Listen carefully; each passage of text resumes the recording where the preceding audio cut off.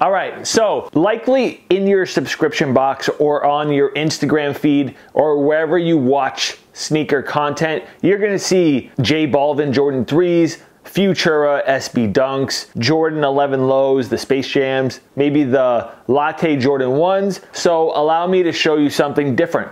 Let me refresh that a little bit, show you some variety, and introduce you to a shoe that will kind of bridge the gap for you. And I'll talk more in this video about what I mean by that. So allow me to introduce you to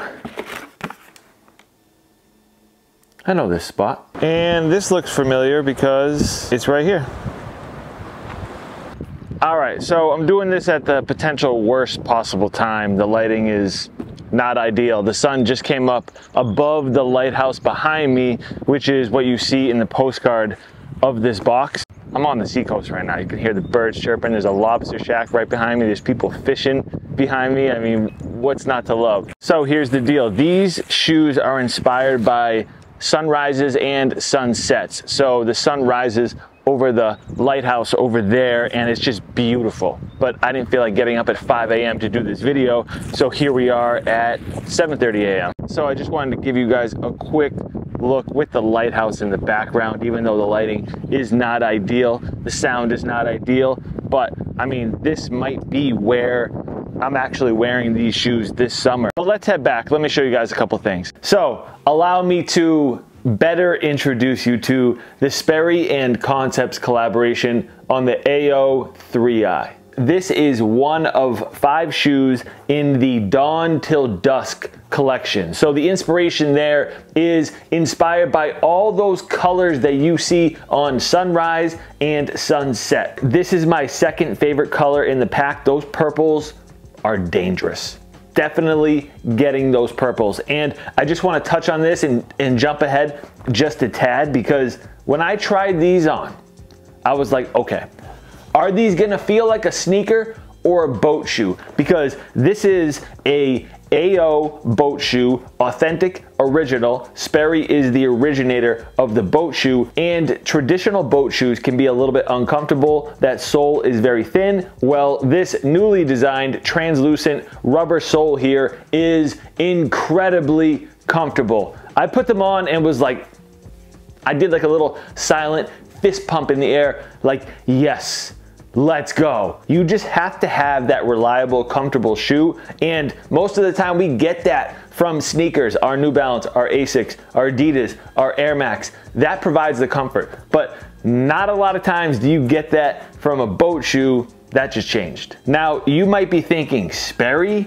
Really? Sperry and Concepts? Guess what? They have a long history of collaborations, some that I'm gonna show you right now. Trust me when I tell you I've been doing this. You don't have many people that have this box in their collection. This is the Striper CVO. It's waterproof, it's tie-dye. This feels like a Vans Authentic, but it's more comfortable. And then, oh, and I'm not done. You probably have never seen these.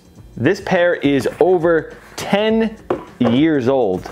Not many people have the Sperry Bahama boot in their collection. I highly doubt that they make these anymore. I'm pretty sure that Concepts brought these out of the archive for this collaboration, but they have a zipper on the side of them. How crazy is that? So Concepts and Sperry, they have history. There's a bunch of other collaborations that I don't have that I think are cool. Oh, and by the way, the hairy suede, the material that is on this pair, top notch super high quality. You've got a Concepts and Sperry tag on the tongue. Obviously you saw that Concepts branding at the bottom. This right here is what you're walking on. It is so soft and plush. More dual branding on the footbed there. So what I meant by bridging the gap was this summer you're gonna see some specific footwear that's on trend. You've seen Clarks Wallabies. Those are very on trend. Boat shoes, definitely are gonna be trendy this summer. Loafers, I'm sure you've seen are being worn in a more casual way. So if you're like me and you wear a lot of New Balance, you wear a lot of Air Max, you wear a lot of Jordans,